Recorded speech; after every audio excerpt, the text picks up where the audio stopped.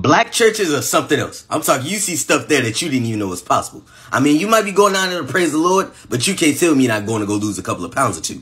You know what I'm saying? I went to my friend's church. This is my first time going to his church. When we walk in the door, the first thing I notice is the pastor is wearing shorts.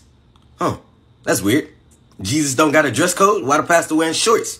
The second thing I noticed is everybody had a towel on their shoulder.